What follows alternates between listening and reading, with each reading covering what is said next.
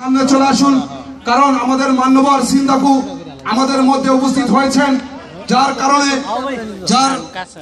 সাহায্য সহযোগিতা